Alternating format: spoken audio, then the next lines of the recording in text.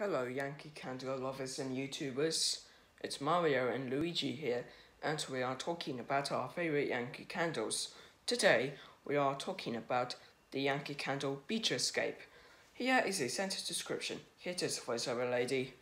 Discover a shady spot under the palms to take in the tranquil ocean view. Notes of sea air complement florals and woody aromas. The perfect way to reflect on your day in paradise. Fragrant notes are ozone, watery green palm with mid notes of sea isle, muguet, jasmine and dandelion with base notes of barley, grass, musky and woody. Good, so let's take a look at it. It is a blue colour and it smells fresh and woody, so I will give it 9 out of 10 of the rate.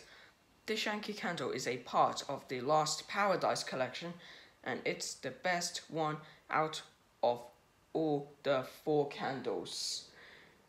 And that is our review for this Yankee Candle Beach Escape.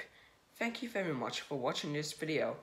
Please like and subscribe with notifications on so we can keep you updated with more Yankee Candle scents and descriptions. And if there's any Yankee Candle scents you want to hear about, please tell us in the comments. Bye bye.